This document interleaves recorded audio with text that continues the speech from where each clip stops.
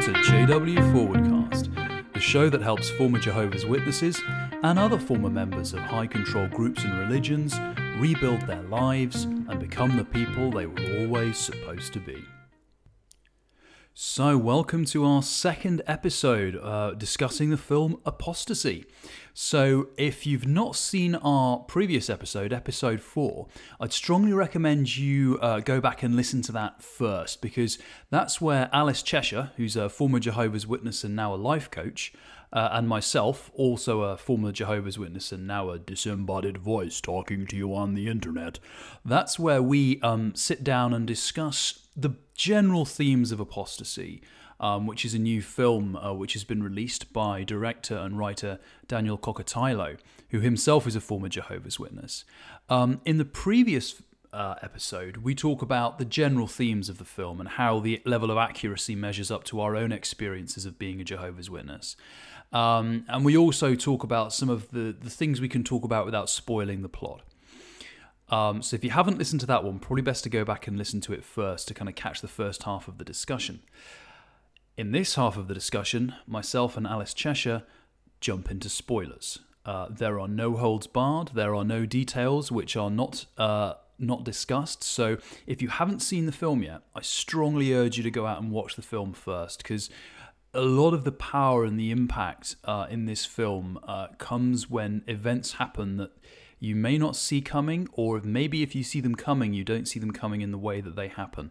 Um, and just watching kind of the unfolding um, story of uh, Louisa and Alex and Ivana is very, very gripping. So, obviously, if you want to if you want to keep listening and you haven't seen the film, that's fair enough. But uh, be prepared. We are going to spoil uh, probably most of the major plot details and plot revelations. So grab your popcorn, settle back, and listen to myself and Alice Cheshire discuss the in depth plot details of the new film Apostasy by writer director Daniel Kokotajlo.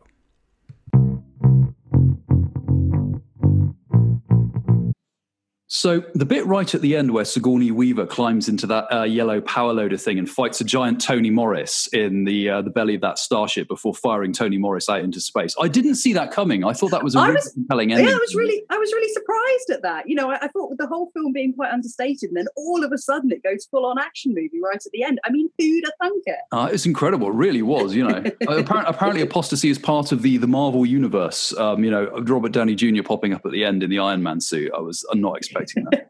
Um, no, so here we are. So this is um, we're now going to be discussing the spoilers for apostasy, and we're going to break these down into like events and themes. And I think it's probably quite interesting if we start from early on. Um, one of the things I thought was very very i mean for me because i know the way that narratives are constructed and if you if you mention something in the first act it's going to come back in the third and obviously one of the big events here is the fact that alex, alex refuses a blood transfusion and dies. Yeah. Um, and the way we start this journey is we start with her um, in a doctor's office making a decision as to whether or not she'd accept blood because the doctor's telling her that she has anemia and that potentially this could you know she was saved with a blood transfusion when she was a little girl and the, but if you know if this if this problem comes back they may need to transfuse her again. And um, you have that confrontation slightly between ivana ivana the mother and the doctor um, the way ivana reacted to the concerns of of the doctor when she kind of dismisses the medical information with well that's just your opinion mm. um, I found kind of cut quite close to home because I remember hearing that kind of stuff and either even saying it myself. What did you think of the way they introduced the blood theme in this particular film? Well, as with everything else in the film, it was understated. You yeah. know, it, it was presented. It was presented in such a way that you know lots of people when when they're talking about the you know the blood stuff lots of xjws and uh, sorry lots of lots of non jws you know mm. people from the outside who haven't lived in it and um, lots of people say yeah but you you wouldn't really though would you you know when when XJW say that their parents would have let them die yeah. rather than accept a blood transfusion. The reaction is always, yeah, but they wouldn't really, would they? And what I really liked about this um, is that there was no kind of sensationalism around it. There was no kind mm. of, you know, you must not have a blood transfusion. shock, horror. It was just that's Mm. the way that it is. And for Ivana and Alex, you know, there, there was there was no sensationalism around it. It wasn't some great dramatic moment where Alex was raising her fist to the skies and saying, "I would rather die than," you know, blah blah blah. Mm. It was just muted. This is how it is. Um, like you say, Ivana makes that comment of that's just your opinion to a, a medical professional. Mm. What I thought was also interesting about this was that initially it's Alex in the doctor's office. Mm. Um, and we also know from events in the film that Alex has just turned 18. So we Mm. know that she's an adult. Um, she's, it's just her in the doctor's office, um, looking scared, looking uh, not not doubtful, but but doubtful of her own ability to to kind of um, uh, to put across what she's trying to say. yeah. And then the doctor is sort of saying to her, you know, we can do it so that nobody would know. I wouldn't tell your mum. And then Ivana, as the mum, comes in and makes the stand on behalf of Alex. And it's an interesting point that that there isn't this. It, it, a lot of JW parents continue this kind of control over their children, even when they are legally able to make their own decisions Mm.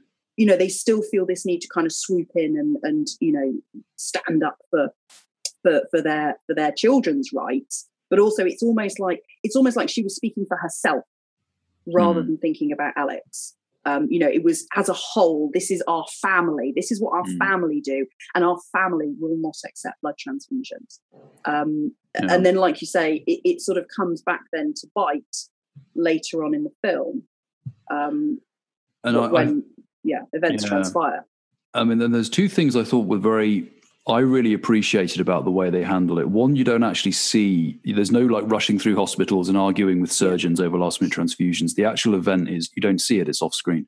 Uh, Alex gets ill at a party, and then we cut to a shot of Ivanova walking out, Ivana, sorry, walking out of the hospital. And it's, you don't really realize what's happened until No. about five minutes later when people are having discussions and then they cut to the funeral. Um, and I thought that again, that was this. This film is not looking for sensation. It's not looking to sensationalize it.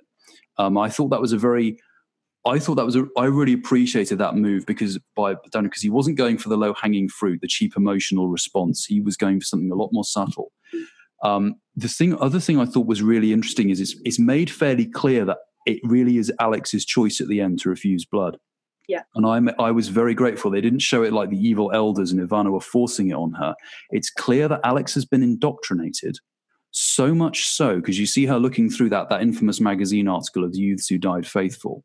Mm. Um, and you can hear, because one of the, the one of the narrative um, tools they use is you get to hear Alex's prayers when she's talking to Jehovah, and she's very clearly buying into this indoctrination and i think this was it was a lot more powerful to have alex willingly choose to refuse blood and then lose her life because Yeah. it shows how dangerous and powerful indoctrination is Yeah. um, and I, I think that was again this this is because it would have been far easier to make it all dramatic and having alex, alex not sure but having the elders force it on her but that wouldn't have been accurate and there are a lot of jehovah's witnesses and a lot of jehovah's witness minors who choose of their own, you know, because they are indoctrinated and surrounded by all this kind of peer pressure reinforcement um, to refuse blood of their own accord. And that's a lot more frightening and it's a lot more powerful and a lot more tragic.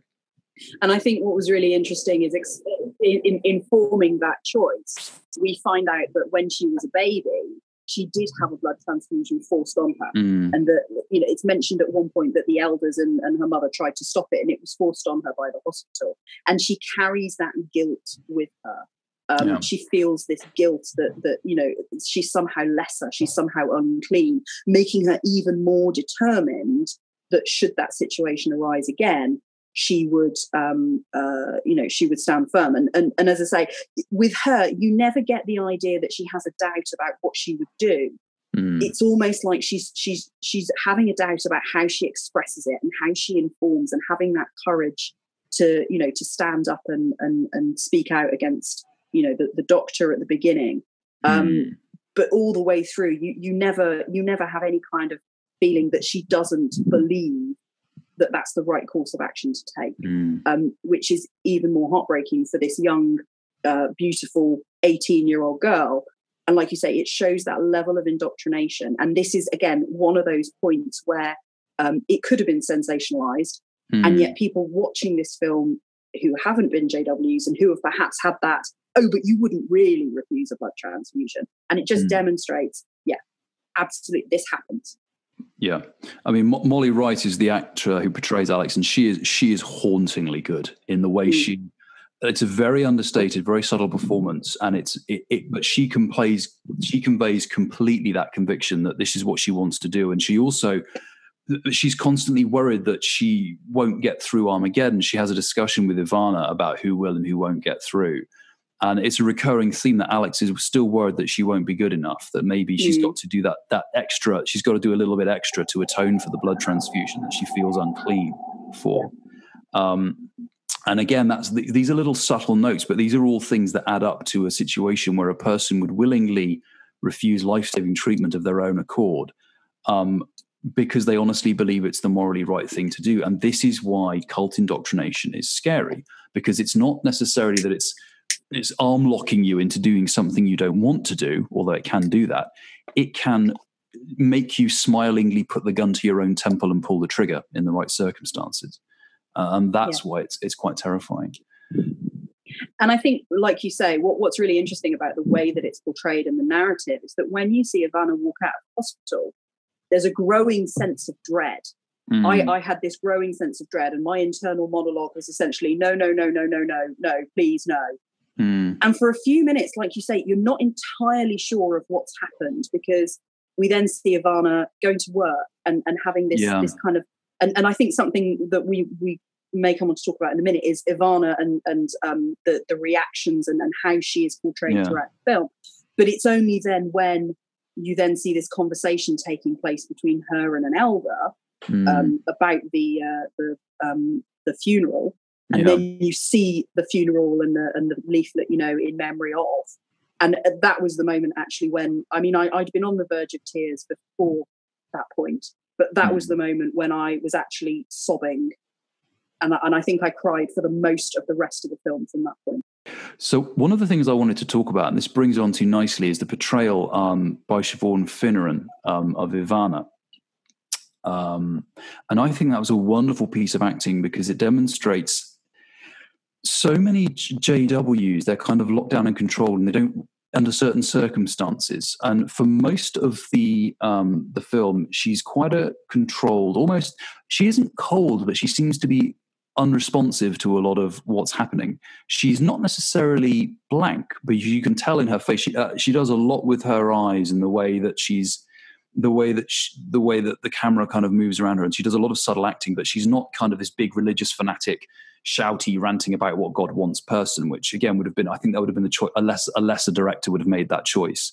But she's very just kind of subtle and doesn't respond to very much.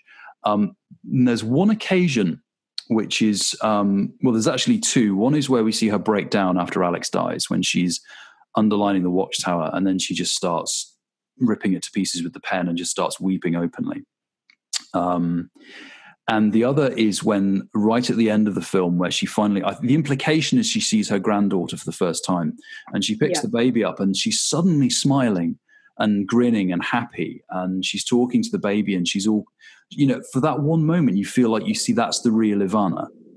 That's the Ivana that doesn't have her kind of JW personality locked in and, and doing what she has to do. And that that's the real person. That's who she wants to be. She wants to be the person who like hugs her grandchild and you know helps her daughter through her pregnancy. And we we do see there's a there's um there is some friction between Ivana. She wants to help her daughter who is alone, and we'll come on to shunning later. Um, and the elders keep telling her to back off. And even though Ivana wants to do what she's told, she's clearly struggling with it. Mm. Um, and it, it, struck me there are so many ways that so many JWs, there's the person they really are underneath, but then there's the person the cult requires them to be. Um, and it just struck me that in that moment, it, and it was such a great choice when she picks the baby up, suddenly she comes alive. And it's like for that moment, we see who she'd be if she wasn't a Jehovah's Witness. Yeah. And I think it's, you know, it, it was a fantastic portrayal by her. I mean, it was it's one of the best pieces of acting that I have seen for a mm. long time. And like you say, throughout the film, there there are moments of tenderness.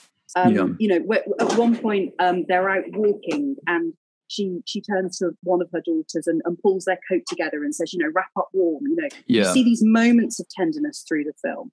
Um, and then, like you say, that that moment, the moment when she breaks down is just, I mean, it's it's heartbreaking, hmm. absolutely mm. heartbreaking. I'm actually feeling a bit, you know, I, I, I can feel myself choking up again mm. thinking about it. And then, like you say, right at the end of the film, you see this flash, this moment of it's the only time she actually smiles, properly smiles in the entire mm. film. Even when they go to the JW party and they're around friends and they're socializing, you know, she's clearly enjoying herself. She's clearly having a good time. But that, that moment when she picks up her granddaughter is the only time you see this broad smile and, and the real person that she really is. Um, and then obviously shortly after that, there's a moment of madness that overtakes mm. her where because obviously, and you, you, can see it's almost like the culmination of everything that's happened through the film and all of the, the, you know, she's been holding all of her emotions in for so long throughout the film that she has a moment of madness where she effectively tries to steal the baby from mm. um, her daughter Louisa and tries to take the baby and you you can see she's not thinking clearly because you know she doesn't have a car seat or anything like that she just goes and puts the baby in the back seat and it's just a you know it's it's, it's a flash of of, of, of, madness. And then, you know, she doesn't fight. Louisa comes and takes the baby back yeah. and everything's okay. But she's saying, I'll save her. I'll save yeah. her. I'll take her to the Kingdom Hall and I'll save her. And I just thought that that kind of, um, that emotional journey that she goes on throughout the film that culminates in that utter moment of desperation.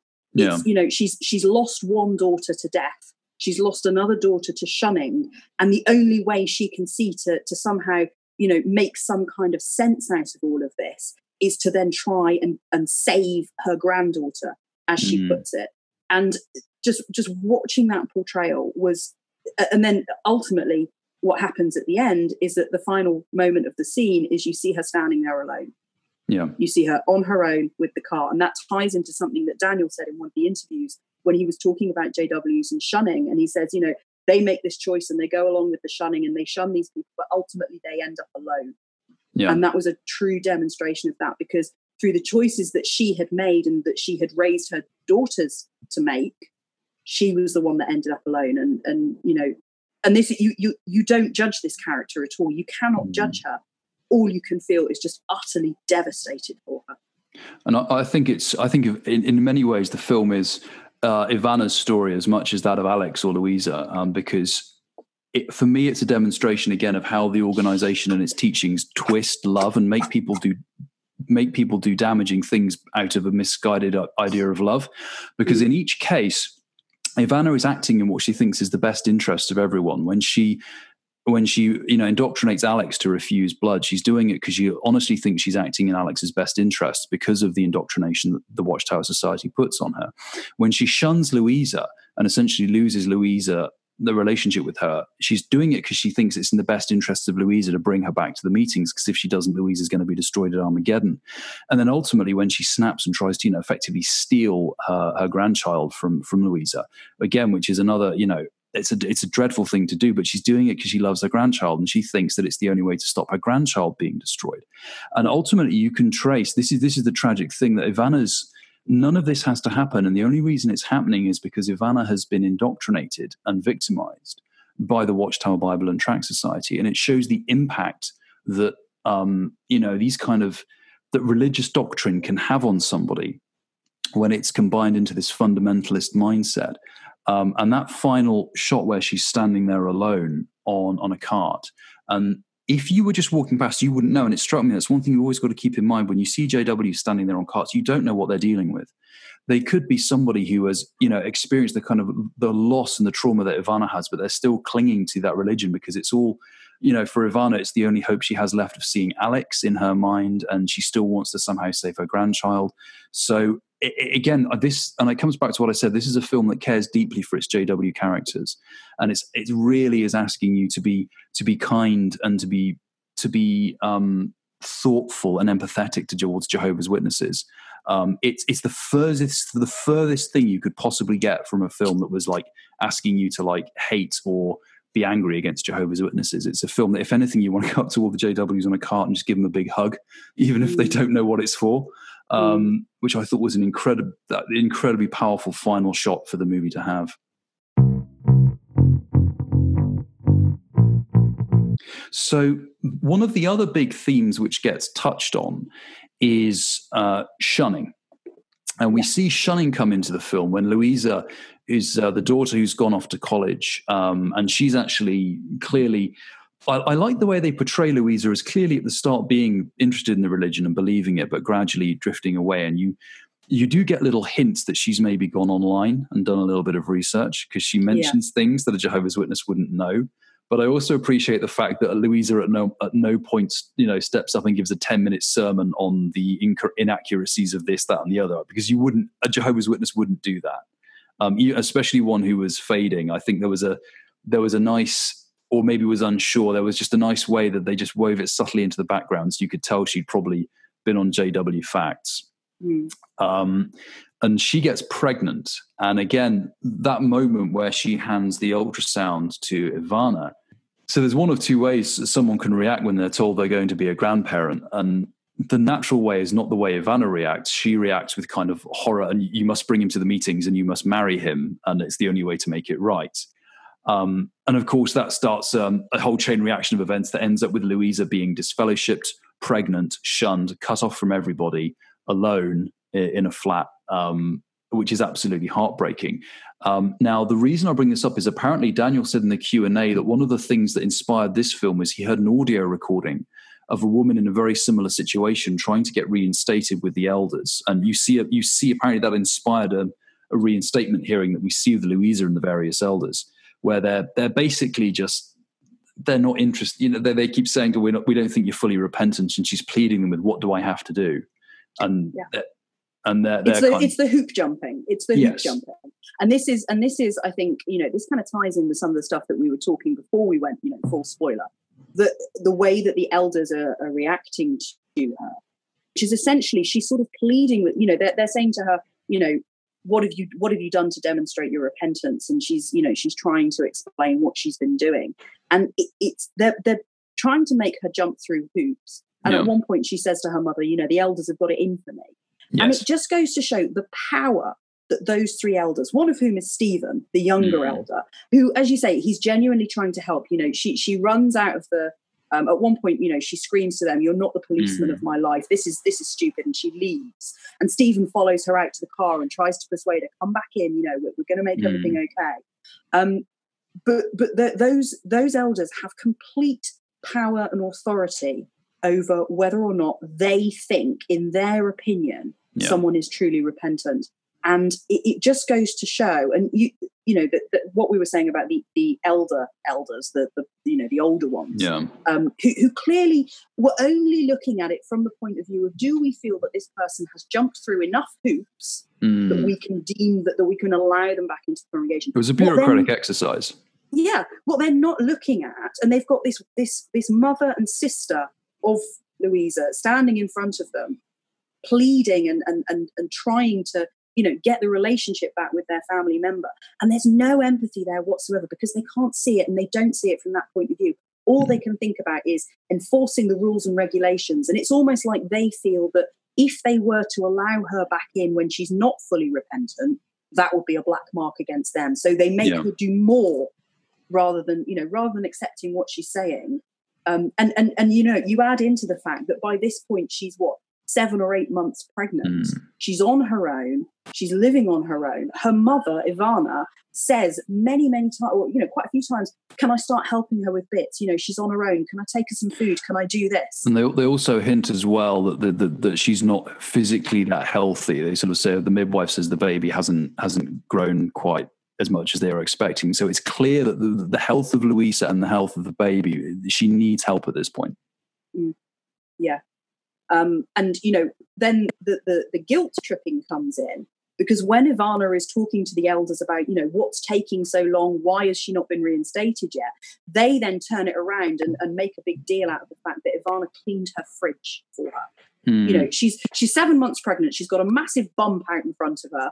Um, how on earth can she, you know, bend down and clean a fridge? So her mother does something that any mother would do in that situation. And yet the elders cite that as an example of one of the reasons why she's not making progress towards reinstatement. Yeah. And it, it, it kind of it, it, struck me ultimately the cruelty of shunning. One of the, the great reviews I saw was um, was uh, a, um, a, film critic who said what this understood me is like the cruelty of the way the Jehovah's Witnesses uses, you know, It's not that they inflict active cruelty upon people, it's the cruelty of withdrawing love and support at the time where it is most needed. Yeah.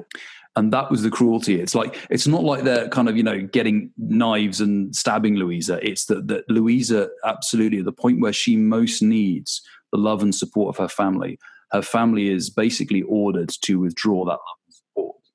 And that's yeah, that's a cruelty that is um, it's in another league. It's like it's it's it's and again, it's the kind of thing that the Jehovah's Witnesses organization cloaks as a thing of love, and you do see them. They the elders repeatedly try, and indeed Ivana repeatedly says, "We're doing this because we love you. and We want to bring you back." And because it's it's been cloaked, it's basically like an iron fist cloaked in a velvet glove. And the really tragic thing is, you can tell that Ivana believes it, and the elders, I mean, at the very minimum, Stephen probably believes it as well, the younger elder. This is a genuinely the loving thing to do. And I think that's important to bear in mind is that when Jehovah's Witnesses shun loved ones, they're often not doing it to be cruel. They're doing it because they genuinely love that person and they don't want them to be destroyed at Armageddon. And that's, I, I think it was a brilliant portrayal. Again, it, it accurately portrayed how shunning works without demonizing the JWs because it would have been very easy to have all these kind of evil JW creatures, you know, uh, characters cackling over how they were shunning somebody or being indifferent. But they actually showed, you know, the reason that Ivana and even Stephen, the elder, are doing this is because they love Louisa and they don't want her to be destroyed at Armageddon. And that's actually what's going on in the heads of most JWs when they carry out shunning. They're actually putting themselves through hell because Ivana's clearly going through hell. She sees it as the only way to save Louisa. So yeah, absolutely. And again, it comes back to the fact that this film is totally non-judgmental. Of, mm. and, and and you know, it's a wonderful portrayal um, of Ivana that you can see that she desperately wants to help her daughter that she bent she's trying to bend the rules as far as she possibly can. Yep. you know at one point she takes some food around to her. It's the time when um, louisa says you know the midwife says the baby's not growing. And mm. her, her, her her motherly instincts immediately kick in. Right well i've brought you some, i'm going to make you something healthy. Yeah. But then and you think oh oh this is oh she's she's actually you know she's she's sort of starting to act as a as a mother would naturally in this situation. She brings louisa the food and then she says i'll eat in the kitchen and there's this oh, there's this yeah. there's this moment in the film yeah. where Louisa, you know, eight or nine months pregnant, uh, scared, alone, ill, frightened for herself, frightened for her unborn child, is sat in the front room eating, and Ivana is sat in the kitchen. Uh, uh, eating a dinner as well, so because obviously not supposed to eat or socialize with with a, a, shunned person or disfellowshipped person, and yet there is a moment there when Ivana's eating in the kitchen and you see her turn and look. And for a split mm. second, you think she might go in because um, Louise is crying and she can hear Louisa crying. And for a split moment, you think, go, go, go and sit with your daughter. And yet she doesn't. She stays in the kitchen and she continues eating. And that heartbreak, you know, at, at the end of the day, any normal person looking at it now from the outside is like, well, what on earth is going on there? And yet you don't feel judgmental towards Ivana. You just think she is trapped in this horrendous situation, trapped between love and, and, and motherly affection for her daughter, and yet constrained by these rules being enforced on her by an organization, you know, which is then personified by these three elders. Yeah. that are making that, that are forcing her to act in this way and, and her indoctrination forcing her to act in this way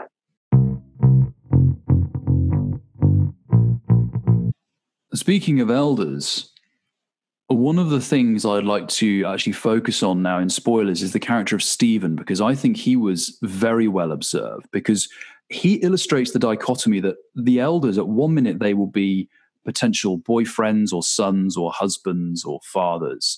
And then the next minute, they have to become spiritual policemen. They will become enforcers and regulators and uh, judge and jury. Um, and the path we see Stephen at, first of all, we meet this kind of young, gawky guy who looks like he, he looks like he, he should be asking you if you want fries with that at McDonald's. And he he then he expresses an interest in getting to know Alex, and I, I want to come on to JW courtship later because that's something which I, I actually thought was quite light-hearted, and we we might we might finish the episode on a bit of light-hearted discussion of the JW courtship stuff. Um, but we see him we see him start to court Alex. So he's this kind of young, sweet guy, and he's obviously nervous around her, and he doesn't really know how to how to you know be how to how to really you know date someone and he's he's very sweet and endearing and then then he's kind of also um, after alex dies he's obviously supporting ivana and he's worried about her and you can tell that ivana and stephen are kind of looking after each other a little bit emotionally but then, because he's an elder, with what starts to happen to with Louisa, Stephen starts to become an enforcer. So who's suddenly telling her he can't, she can't associate with her daughter, or there could be consequences. He's um, although he is not as cruel and unkind as the other elders or as unfeeling, he's still backing the corporate policy on this. He's still he's not dissenting. He's clearly going as far as he can to try and encourage Louisa to make what he considers the right decision, but he's still going to back the um, the company play, as it were. And I thought that was a wonderful illustration of showing how elders. This is the weird situation that you're in. If you're a Jehovah's Witness, that elder might be your father or your friend or your husband or your son-in-law. But then, if you say the wrong thing or you do the wrong thing in their presence or even elsewhere, and you get reported on, that person potentially might be your the judge and jury at your religious trial that takes away all of you know your your family association. Um, and it's this weird thing i think that a lot of people outside of the jehovah's witnesses don't understand how that almost orwellian level of control and and policing happens inside the community. What, i mean what did you think of the way stephen's arc was portrayed I mean, yeah, like you say, you know, he's he's initially introduced as this kind of eager, um, eager young guy. You know, he he turns up at the door um, shortly after he's been introduced and is clearly, you know, trying to to get to know Alex. Um, and you see that sort of side of him, and like you say, he's a bit awkward and he doesn't really know how to approach it. But then it's almost like he can he can switch into elder mode um, mm. and he and he parrots back. So you know, one of the one of the moments in the film, which was just absolutely classic for me, which was when they were sat in the pub and Ivana's talking to Stephen about uh, Louisa and about you know potential reinstatement, and she mm. asked the question, well, you know, what's what's going wrong? What's taking so long? And Stephen's answer is she likes to voice her opinions too much. Yeah. And and and and, and what was really, you know the, the, the moment in the film is incredible because then the, the the camera flicks back to Ivana, and there's there's a flicker on her face. Mm. You know, now uh, looking at it now, you know, any anybody, any XJW, and anyone in the world would turn around and and you know have something to say about that comment. How, you know, well, what's what on earth's wrong with that? Mm. She likes to voice her opinions. Of course, she's allowed to voice her opinions, but there's a flicker in Ivana's face, and then she lets it go. Yeah, and like you say, it, it's Stephen can immediately flip from being um, a friend, a confidant, a boyfriend, whatever, to he's always going to spike the party line. Um, yeah. And the party line is basically it doesn't matter about Louisa's opinions. She has to do as she's told. And if she doesn't get in line, if she doesn't march in the right way, if she doesn't jump when we say jump, then that means that she's not fully repentant and therefore she's not getting back in. Yeah and it was very and in a way i think uh, it portrays i mean i think the primary the primary sympathies of the film are obviously with uh, ivana and louisa and alex but i actually view i think the film's very sympathetic to stephen as well and actually portrays him as much of a victim because he's clearly this sweet guy who's just you know in any other in any other world he'd be like you know him and alex would have got together and he'd be very nice and it but it's because the religion has thrust them into this into this role that he's clearly deep down, you know, the guy wants to help. He doesn't want to be this religious enforcer because he has to be, and because he believes in the doctrines. And that's the key thing here: is all of the characters, apart from Louisa, from what I can tell, believe the doctrines. They're sincere, which means that Stephen becomes the one of the people who's actually you know, immiserating the situation. He's making things worse. He's warning a mother not to see her her daughter and her grandchild.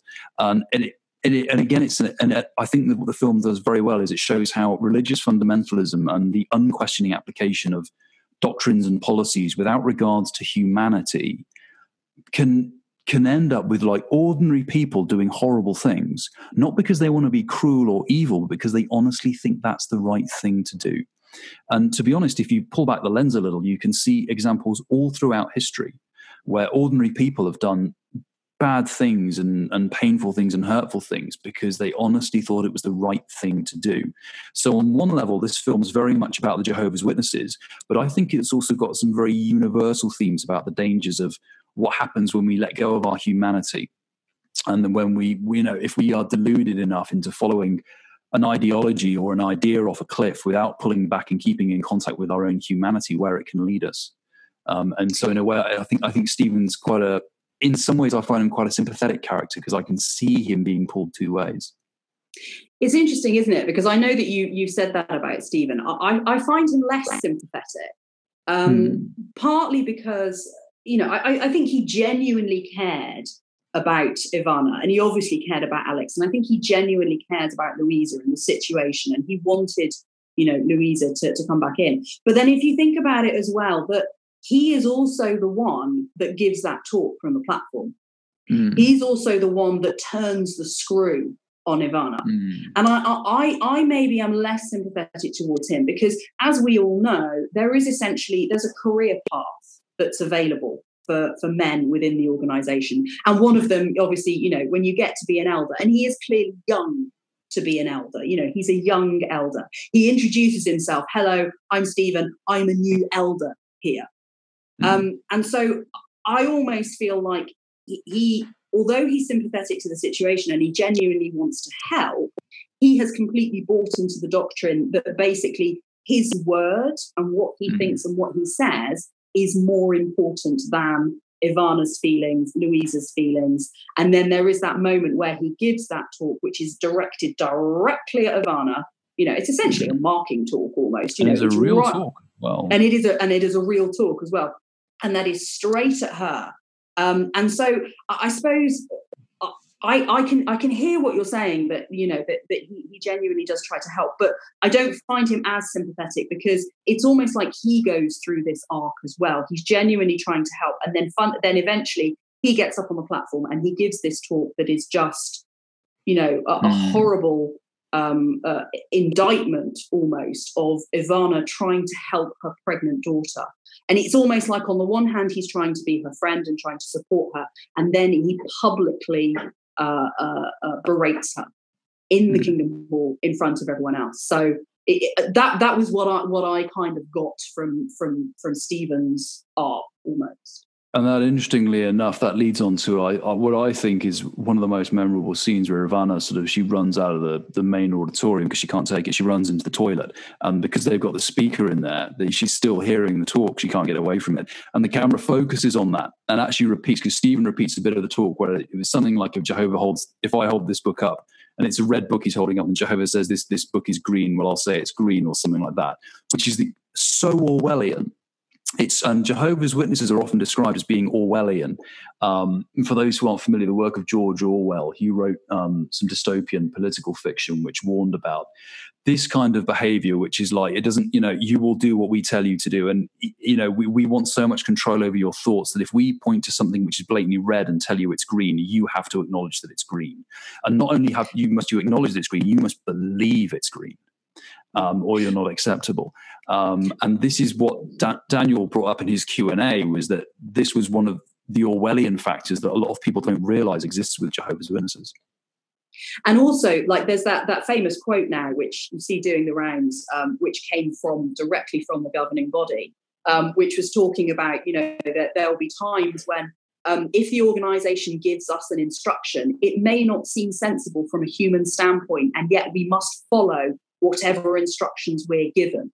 And this yeah. is kind of linking into that because the organization is essentially giving instructions that don't make sense. And yet they are expecting that the rank and file follow those instructions, regardless of how it feels, regardless of the effect that it has on them, because they've been told to do so. And then Stephen and the other elders are the enforcers yeah. of those instructions there's a movie which I love called Equilibrium, um, which I saw when I was at JW, and even then it had some weird resonances for me. Guys, if you haven't seen it, check it out. A, because if you're an ex-JW, you'll be like, "Holy crap, this is actually." I can see why this would like make a, a JW feel a bit uncomfortable, but also because it's got Christian Bale in it, jumping around doing all sorts of cool martial arts and stuff. So it's a really good movie.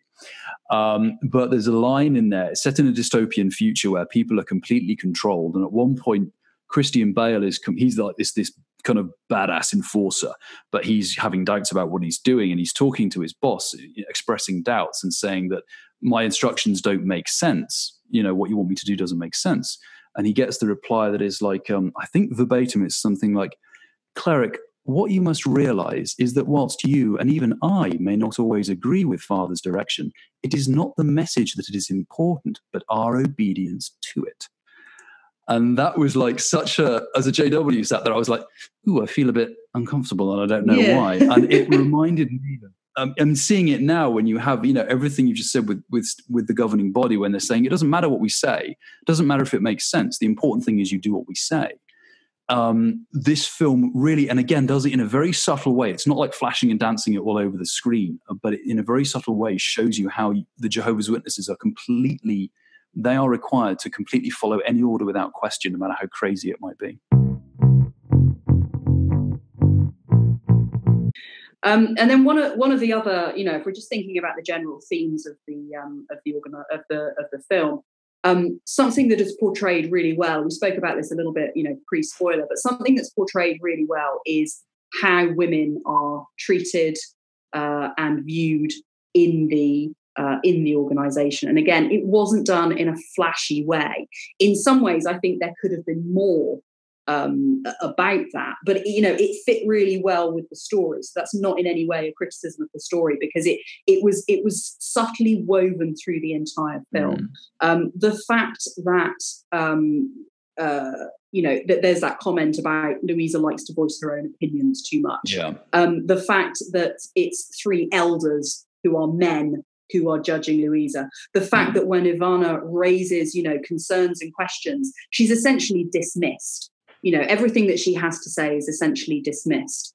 Um, the way that we see that it's always men on the, the platform giving the talks. Um, all of these things just feed into this ongoing narrative that women's place in the organization is lesser. Um, their views don't count, their opinions don't count, their thoughts don't count. They're, it's always subjective to subjected to um, you know what what the men think and what the men feel, and there was a real sense of powerlessness in there. Mm. You know, th- there's a moment when Louisa is sat in. Louisa's just run out of the um, uh, the meeting that she was having with the elders, you know, the reinstatement meeting that yeah. she was trying to have. She sat in her car and she's talking to her mother, and she says to them, she says to her mother, "Do you think it's right the way they make treat me?" You know, mm-hmm. And and she says the elders have got it in for me, and the complete sense of powerlessness that these two women who are essentially jumping and dancing to the tune of the elders. They're trying to do whatever it is they're told, and it's still not good enough. And then later, Ivana is, you know, desperately trying to say, what else needs to happen? What else is being, you know, what can hmm. we do to get Louisa back? Because she desperately wants that relationship with her daughter. And they are powerless in the face of these three men that hold complete control over their lives. Not just their lives in the truth, not just what happens when they go to the Kingdom Hall, but their entire life is dictated to them by these men. And the really frightening thing and the really real thing is that Ivana doesn't even realize it. Louisa is obviously coming to realize it. Louisa has got to that point where, you know, she, she is railing against this organization. She doesn't specifically talk about the inequality of men versus women, but you can see that, you know, she's getting to that point of thinking, you know, why mm. is it that these three men, she says in the, the judicial committee, uh, you're not the policeman of my life. Yeah. And yet Ivana just accepts it because she doesn't know any other way to be. And that for me was really heartbreaking. She was so indoctrinated that she didn't even, you know, as I say, there was that one moment when Stephen says to her she likes to voice her opinions, and there's a flicker on her face. But you can see it was almost like something tried tried to come up in her brain and it was immediately pushed aside. Mm. Because in her mind, well, no, of course, Louise is only a woman, therefore she shouldn't be voicing her own opinions. Mm. And the fact that there was no railing against it, there was no, you know, it wasn't um, uh, actively and overtly brought up, in some ways actually is very, very clever because it's not even something they're aware of. They just accept it. And, mm. you know, for many JWs and, you know, speaking for myself, for many, many years, well, actually, no, that's not true. I never quite accepted it. It never very, it never sat very well with me. but there are so many women who don't actually know that it can be any other way.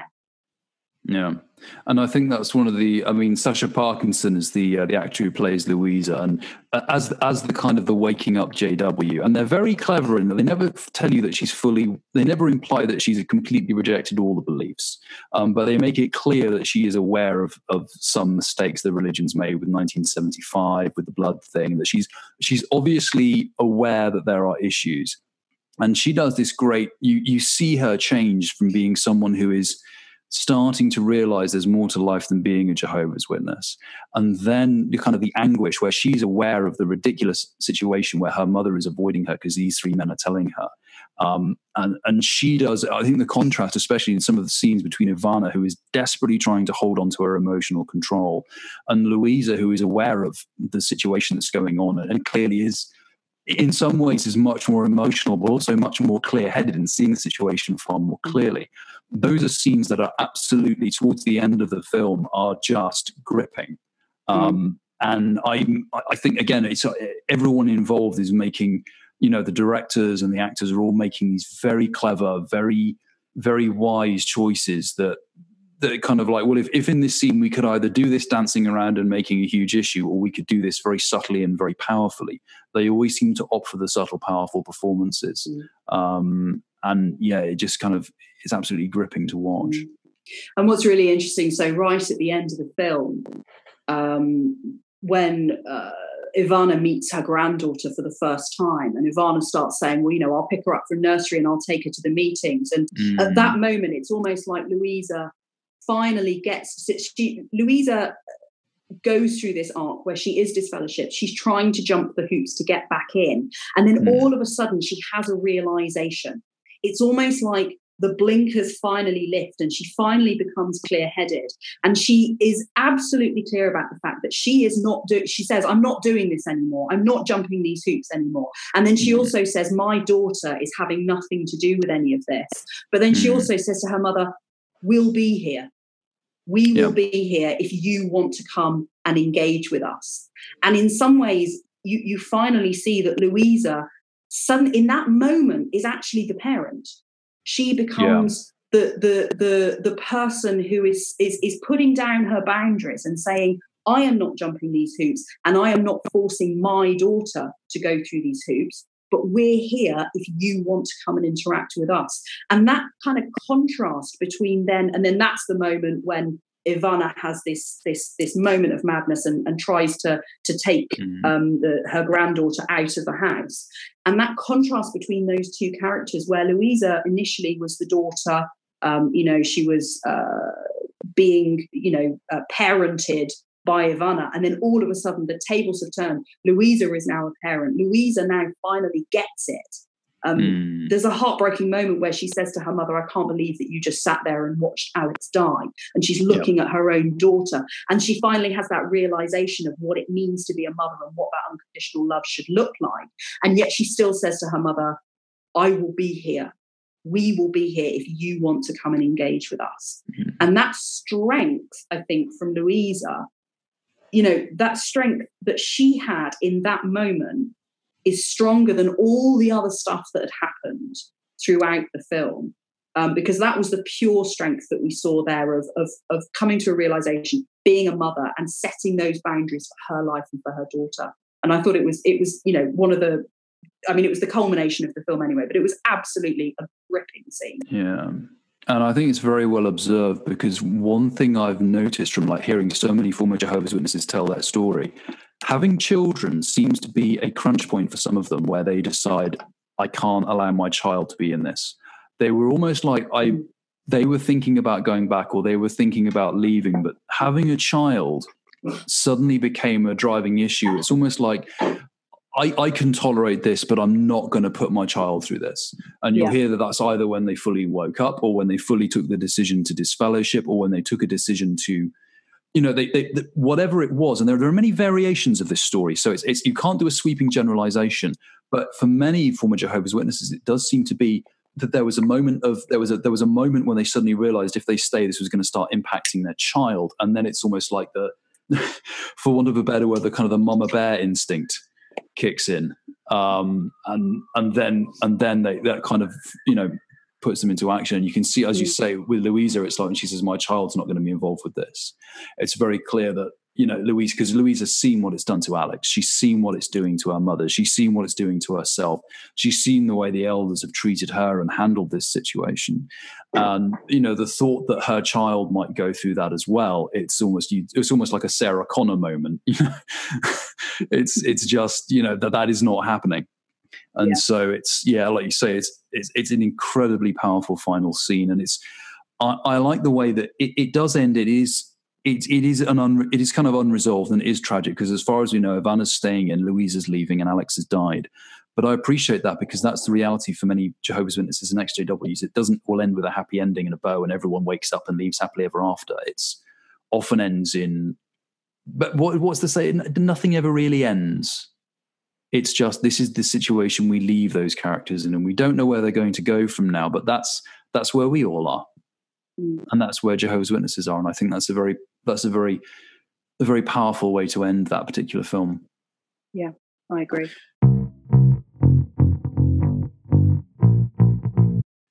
So, one thing I'd like to discuss now, and I'm going to turn things back to a slightly lighter topic, although it still might involve lots of me shouting at the microphone, is Jehovah's Witness courtship.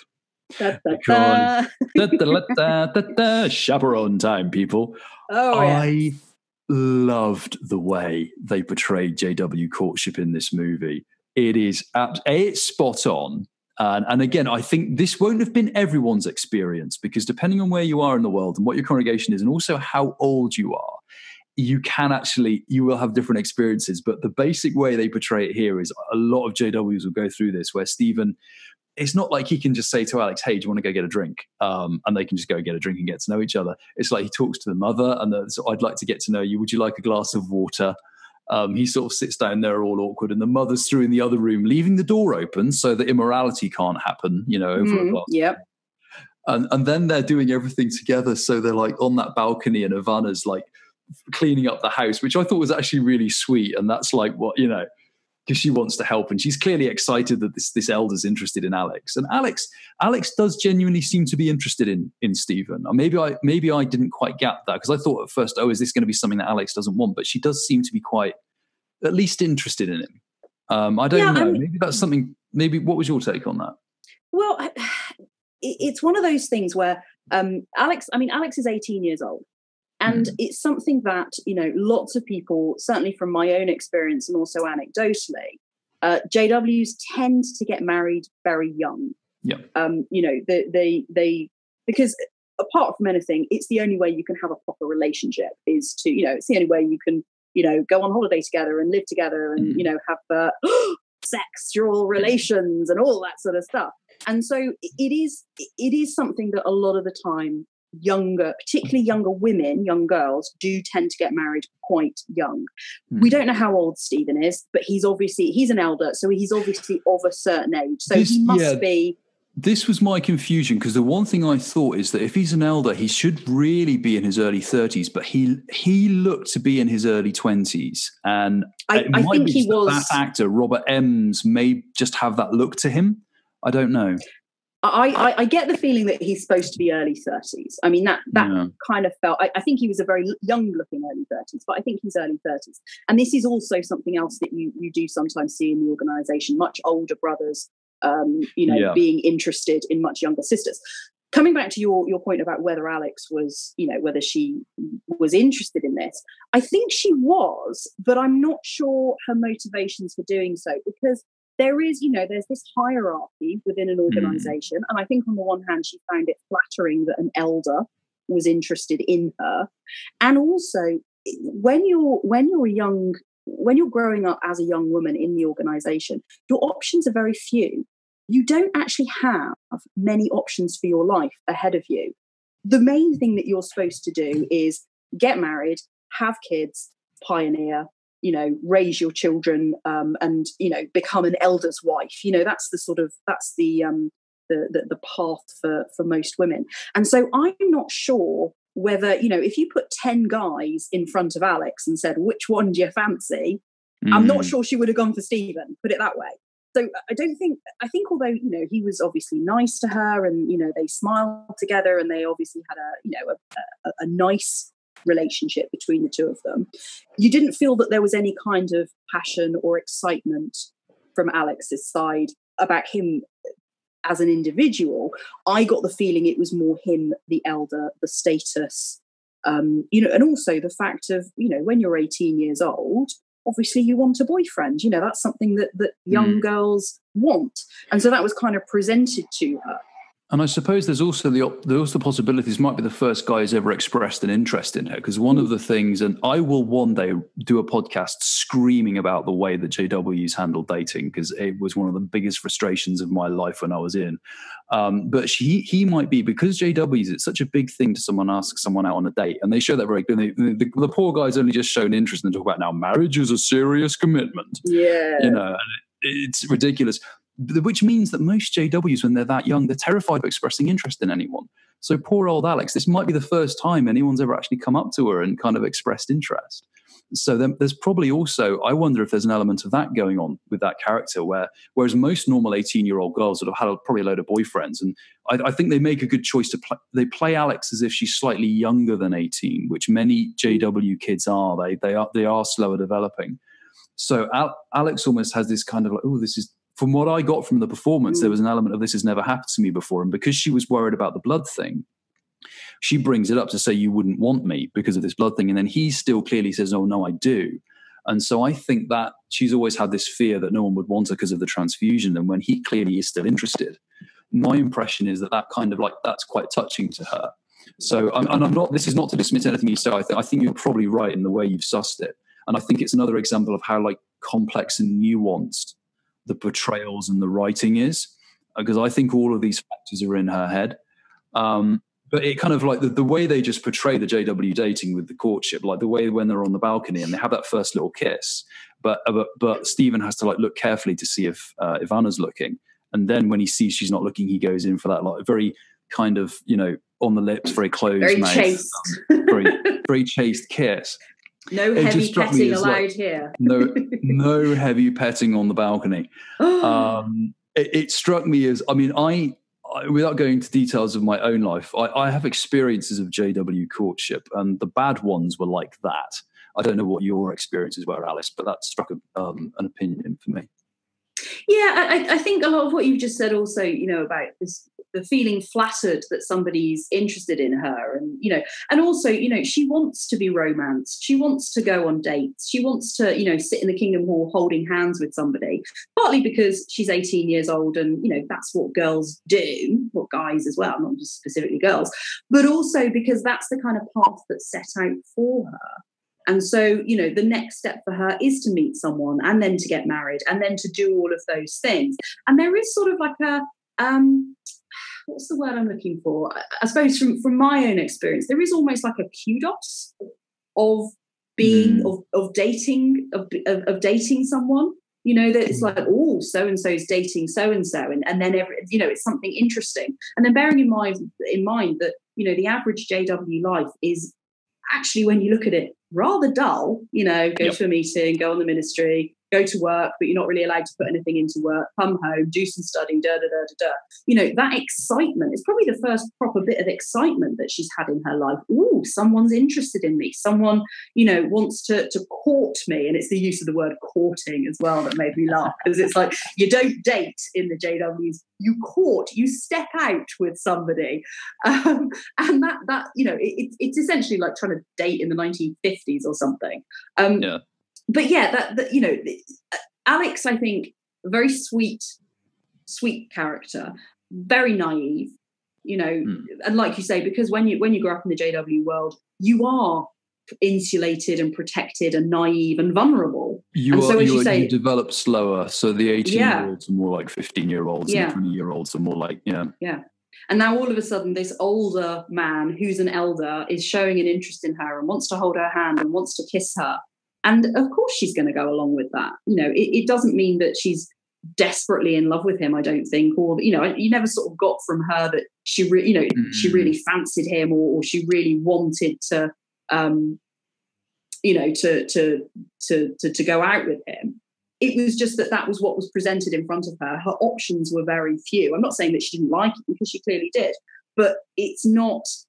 It, you could see that there was no passion there. There was no um, desperate attraction there. Certainly not from her side, I don't think. Uh, and another very subtle point to make on the, the, theme you brought up about how women are treated, uh, it became very obvious that he wants to be a circuit overseer. So if she married him, she was basically going to be a circuit overseer's wife. And that's what she was going to be. I mean, her options, Alex's options would be fairly, you can't really, if your husband's a circuit overseer, you can't, you know, go off and be um, anything else really. And you basically have to go around with him and be a circuit overseer's wife. So and again, it, it, it probably it, it's the kind of thing that if you're aware of the way Jehovah's Witnesses operate, you could see that if Alex, you know, had married him and had hadn't died, she would have been locked into that life. Um, essentially, whatever he wanted to go off and do, she would have been just kind of following him, cooking meals for him, uh, and cleaning his clothes. And any ambitions she would have had um, would have been very much subservient to that. Um, and oh, I've just, I've just looked up. So Robert Emms, he was born in 1986. So I think clearly, yeah, the, the character of that makes the character him is 32. 32. So that does fit, doesn't it? So that's the he probably's been an elder. The impression he's a new elder, so elder for a couple of years. So there's yeah.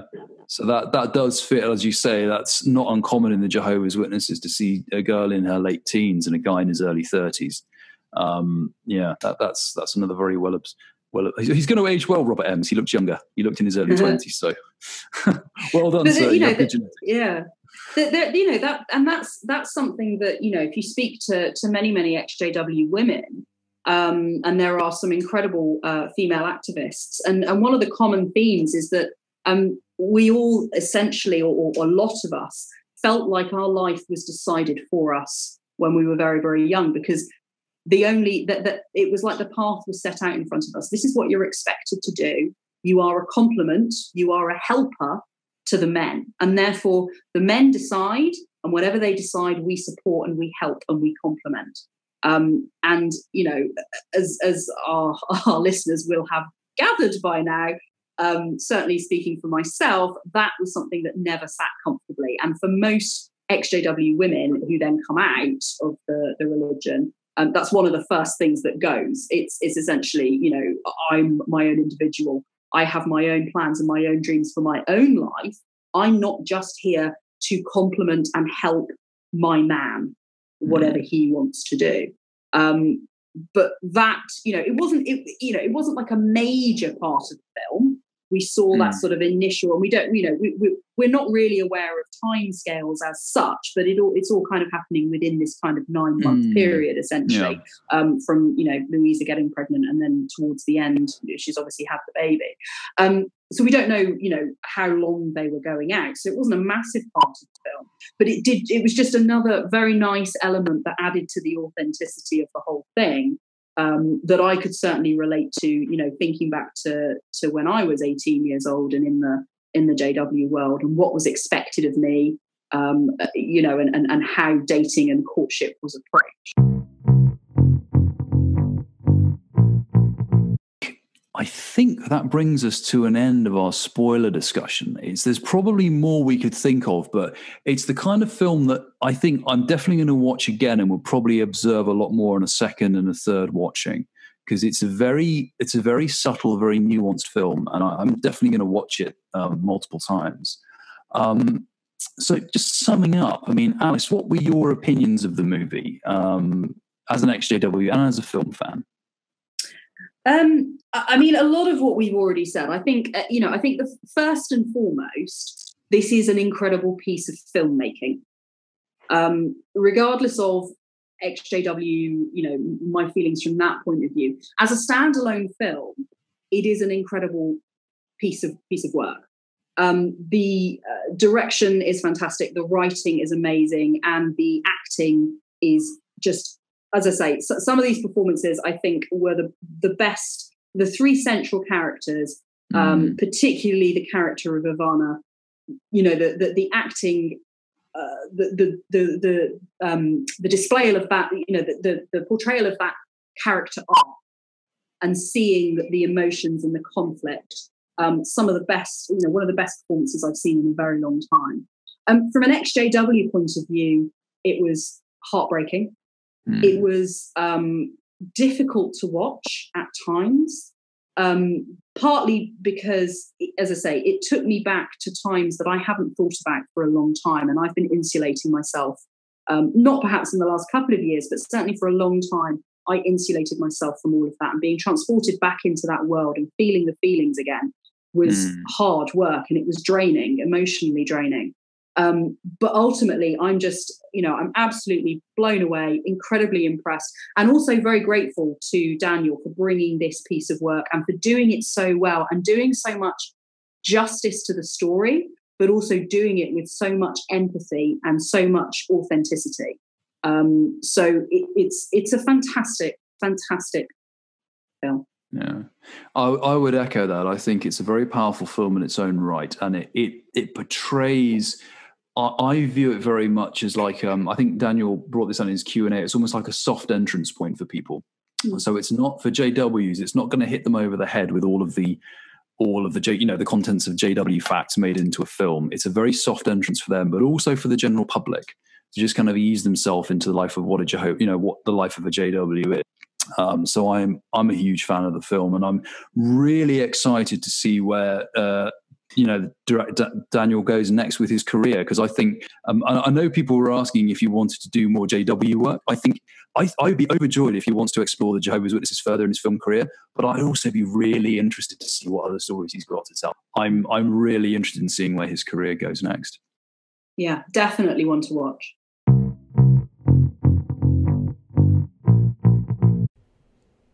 So that brings us to the end of our apostasy discussion, uh, both of spoilers and non spoilers. Just want to give a, a huge thank you to uh, Alice Cheshire for joining me on this podcast, uh, and also to uh, Daniel Kokotajlo, and also the, all of the cast and crew um, of Apostasy for all of the the time and the hard work and the creative energies they put into into making that film. It's I think it's it's a wonderful film in its own right, and it's also very kind of cathartic and very vindicating for former Jehovah's Witnesses to see. And it's very useful, I think, for, the general public to kind of see and to help them really empathize uh, and understand with um, a community that they probably don't know much about and haven't really seen the inner workings of before. So I hope you've enjoyed this episode. Um, if you have enjoyed it, there's many ways you can support the show. Uh, you can leave us a review uh, on whatever uh, podcast application you listen to us through, be it iTunes, Stitcher, YouTube, or Podbean, or many of the others. You can share us on social media, and you can share us with your family and friends. If you'd like to support us financially, you can do so on Patreon. Uh, you can starting from uh, one dollar a month, and in exchange for that, you get access to all sorts of cool extras as our way of saying thank you to you. You can also check us out on YouTube. Uh, we have a YouTube channel which is Covert Fade. Um, all of the Forwardcast episodes are going up there, but we also are going to start putting some funky little extras up there as well uh, whenever we get the, time to do so. So give us a subscribe on YouTube. That's uh, Covert Fade on YouTube. So thank you again for listening, and I'd just like to end by saying remember, you only get one life. So work out the kind of life you want to live put a plan into action, and start living it now.